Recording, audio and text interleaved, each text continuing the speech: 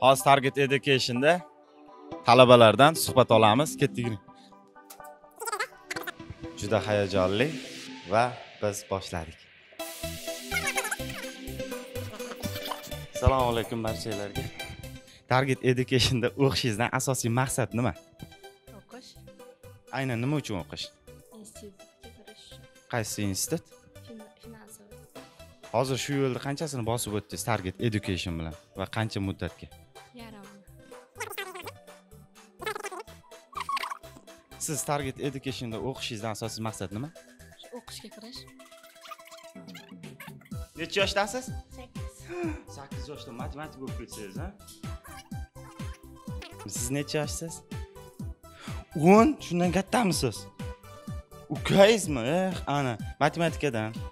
Hozir. Misollar bersa xayolni o'zida yechib tashlay olasizmi? O'qishdan asosiy maqsad kirish qaysi institut o'zbekiston axborot axborot tatu. Paris saint germain futbolchilarga ham kerakda matematika. Kassingingiz katangingiz hujumga o't deydimi? O'qishga asosiy maqsad nima?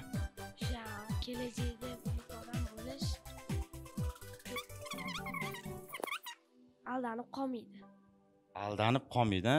pul berganda hisob kitob joyida qilib ikki ming qarzing bor qaytar deb turadigan odam bo'ladida to'g'rimi? Gap.